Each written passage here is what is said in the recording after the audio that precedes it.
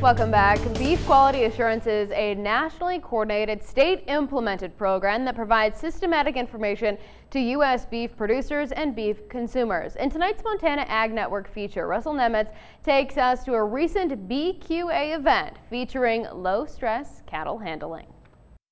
Low-stress stockmanship uh, is really starting to catch on. If not, it should catch on. It's, uh, it's an important part of beef quality assurance. Bill Pelton is Montana's Beef Quality Assurance Coordinator and says more and more livestock producers are wanting to get involved with BQA and low stress stockmanship.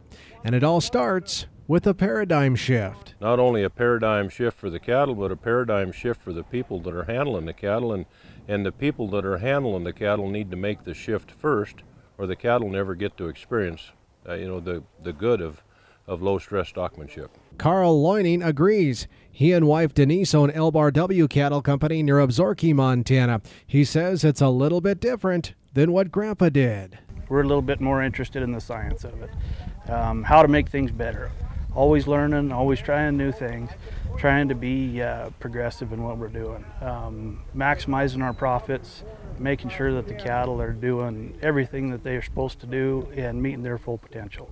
Dr. Tom Noffsinger is a veterinarian for Merck Animal Health. He was in Montana recently speaking to livestock producers in Lewistown and Absarokee about low stress cattle handling and BQA. The definition of low stress cattle handling has to do with an attitude of making cattle better every time we intervene with them. So every uh, job that we have, whether we're rotating, rotating pastures, whether we're calving, whether we're weaning, whether we're processing, we should look at that as an opportunity to give cattle more confidence, give cattle more health, give cattle more performance. He says it's also what consumers are wanting of those who raise their food.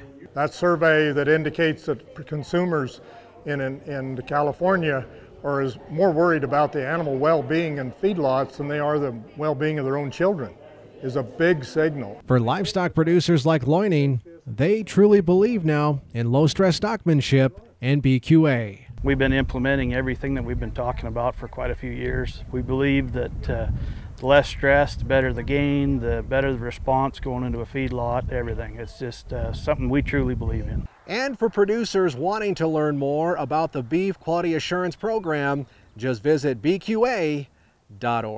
Near Absarokee, Montana, Russell Nemitz, MTN News.